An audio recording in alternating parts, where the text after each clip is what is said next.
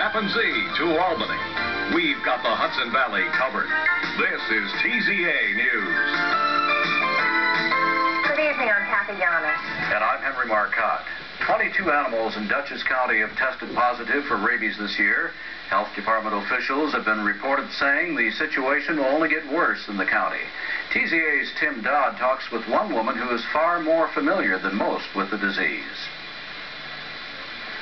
Caroline Paulson knows about rabies firsthand.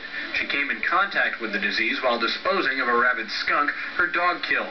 After I knew he was in contact with this wild animal, I took him for a booster. It's recommended that you get a booster within five days of contact for the animal.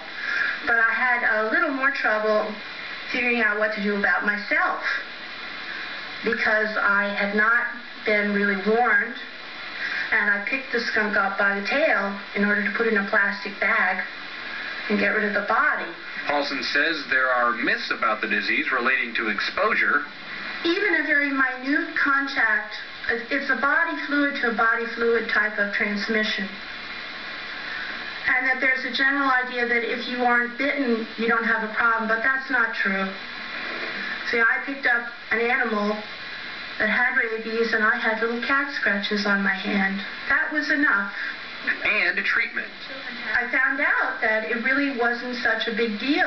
And the first day, they give you uh, an immune, a, a particular immune booster, I don't know the exact name, plus the rabies vaccine. And then, um, and I thought, oh, I'm going to be sick. And I didn't feel a thing. And then after that, it's four more shots of the rabies vaccine that you just go see a nurse to get. And she says the public needs to be more informed. I've taken much more precautions now not to leave animal, my dog and cat food outside, to be very careful with it, and to be more careful with my garbage to keep these animals away from my house. And of course, get your animals vaccinated.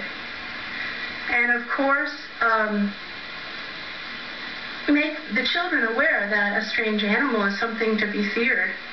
An animal being overly friendly, like a skunk or raccoon or anything else, is it's not cute. In New Paltz, Tim Dodd, TZA News.